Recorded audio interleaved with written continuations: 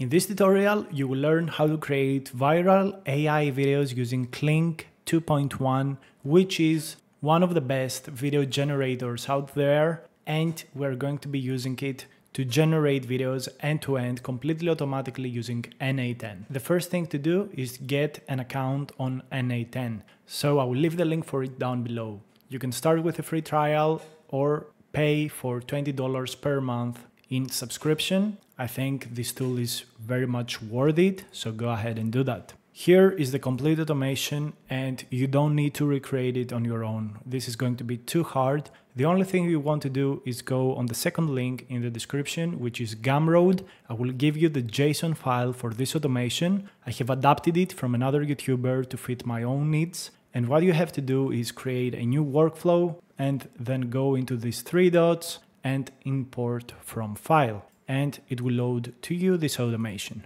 Let me go through all of the setup processes, all of the things we're going to do and give you a little bit of an understanding. This is also super cost optimized, but more on that later on. Before we move on, I just want to let you know that I have an AI course where I started creating tutorials on automations. We also showcase how to make more money, become more productive, how to code with AI, how to use image, video generators, video editors, text to speech. There are so many things in this course and I update it every single week with new tutorials and new guides. And I think the value in this one is tremendous. It's hosted on Udemy, costs like $20. You pay only once and you get all of the updates. If you want to support this channel, as I'm bringing you this automation completely for free and this tutorial for free, uh, this is a good way. So I give you value and you pay a small fee to allow me to continue doing what I do over here. So let's get started. You can see here that we have some Google Sheet nodes Google Sheet is needed to manage the whole workflow and automate parts of it. So you want to create a Google Sheet, you can name it whatever you want. I have named it X Automation and I have created this sheet which is called Kling.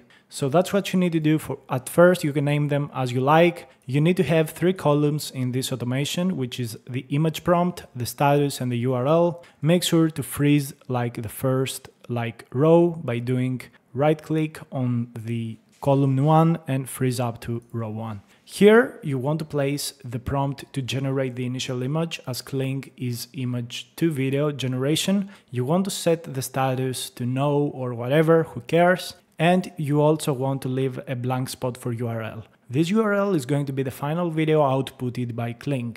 Now, in order to generate the image and generate like the video, you've got loads of options. In today's tutorial, I'm using Fal, which is an AI provider, API provider. They offer Kling with very good prices. It's like five seconds of video for 25 cents on the standard mode. So that's completely fine. I think that's a good value. You also have the pro version, which is even better probably than the standard version. Here you can see examples, which costs nearly two times more. You've got like the master version, which is the most costly of all, with super realistic footage. Uh, in my notes, I have placed like this standard image to video uh, because I don't want to pay loads of money just to showcase to you this model. You could find so many other models here from images to videos, Flux models, like this is so powerful. And if you learn how to use n8n and Fal AI, you can create any kind of automations that have to do with these kind of modalities.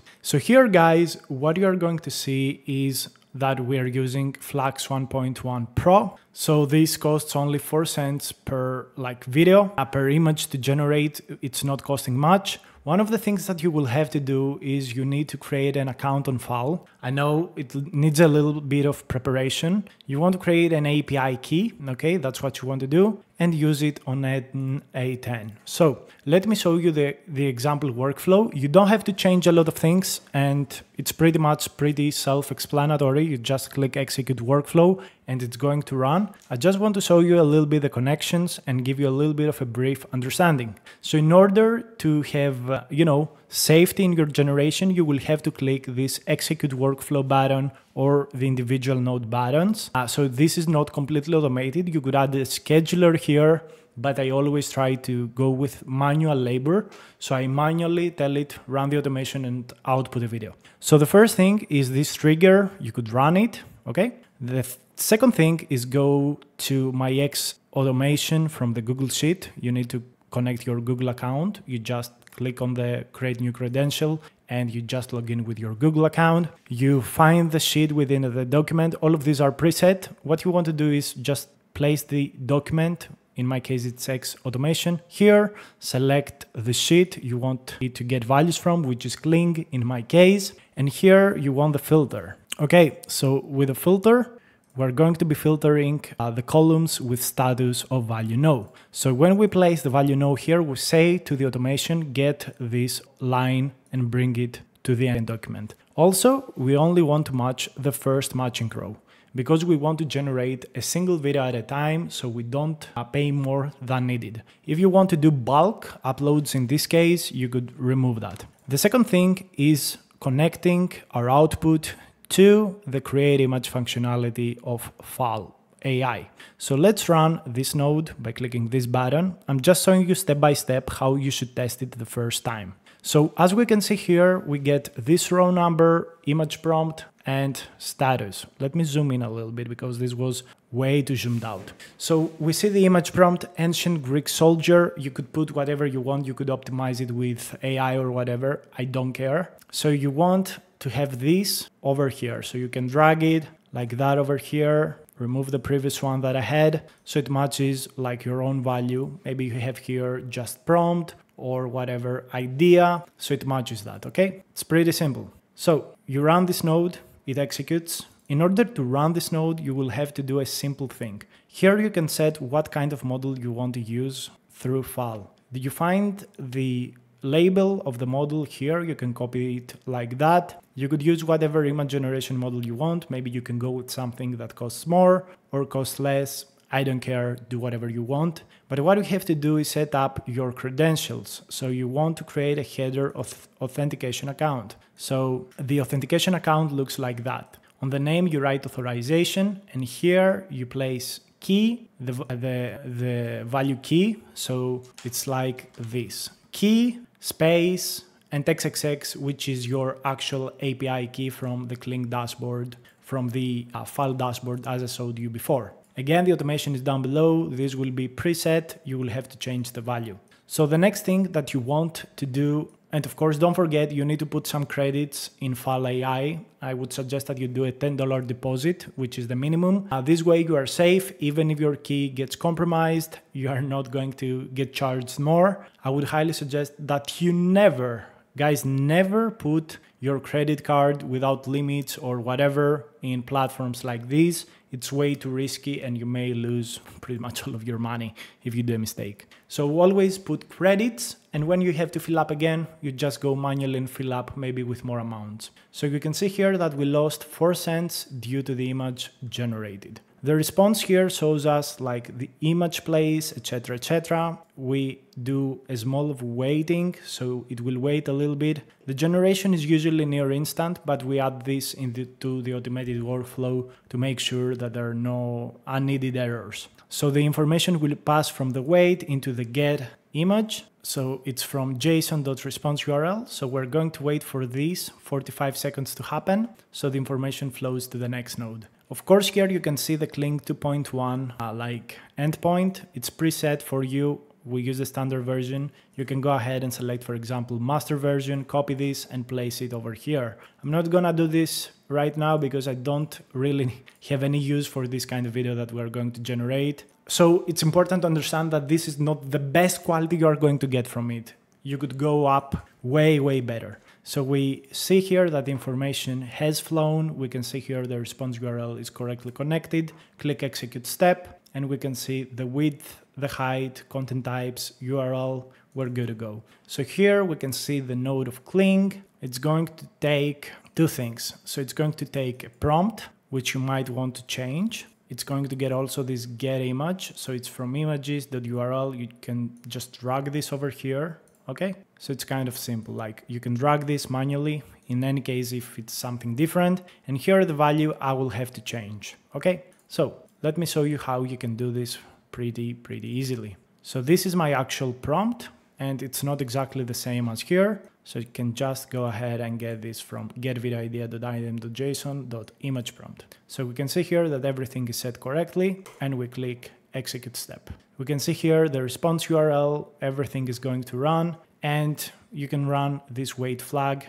to wait to get the video. Of course, you can just click execute. I'm just showing you what you should do in your first round to solve any kind of issues step by step. I know this is a little boring, I get it. This wait flag should be for about 30 seconds. It might run faster. And the great thing is that if you go here on Fal AI slash models and you select your own model, you can go to requests and you can see your actual request being in progress. So you can see here that a request was taken by Fal AI correctly.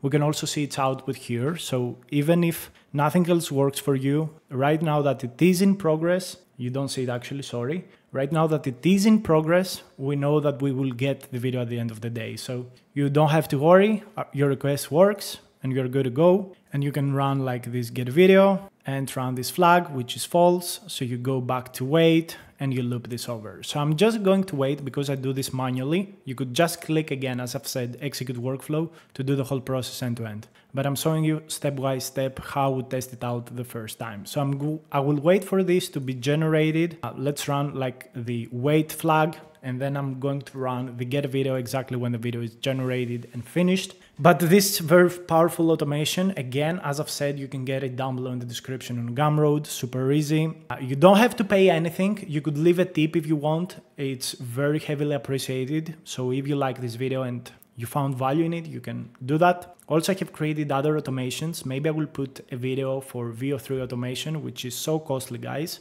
but also it's a beautiful video. Again, we use Fal AI and it's a little bit more detailed than this video because we actually, uh, you know, I've showed you load more steps on the setups. So if you're stuck in a setup phase, maybe you want to test that video out. Uh, it has a little bit more details. If you're completely new to an automation, maybe you should go and watch my first AI agent in n8n video. It's again on my channel. Maybe I will place them down below in the description. Maybe I will do so. So we wait for this to happen. I don't want to waste any more of your time. Let's jump to the conclusion. Okay, so we actually have a response, which is nice. We actually get this video generated. So as you can see here on Fal, you can just click here and see the response to your request. This is super nice for such a easy model. It took like 80 seconds, so I will make sure to improve your automation here. I will put just 80 seconds and let's move on. So let's do get video. Oh my God, it's running the previous node again. All right, no worries.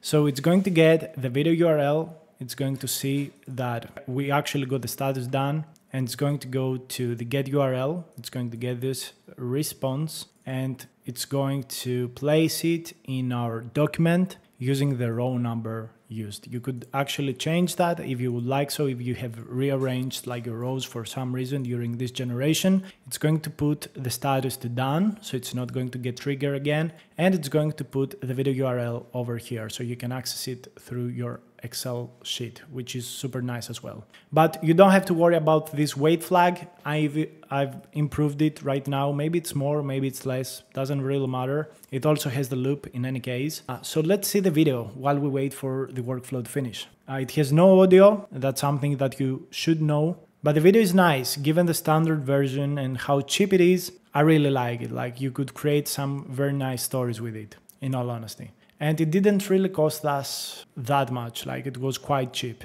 So i think this is very very nice. Maybe with uh, like the ultra or master model it would be even more amazing. So we actually get the video okay? So it moves on to the next thing because the branch is true and we execute this step. So we get the actual URL over here as we can see. And this is just to get the actual uh, video URL pretty simple. And then the next thing is to place it into our document. So yeah, you will have to change this from list tag over here to be exactly the same one as your own Google Sheets file folder or whatever. So what you should do, okay? So column to match on. This is the column to use when matching rows. All right. So that's the first thing. You could go with row number and to get the row number, you just go to get this to your document here, which is get. You select schema, you go here, row number, easy. Second thing, you could match on the prompt.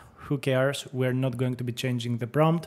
We will change the status to completed and we're going to be changing the URL to this value that we got from get URL.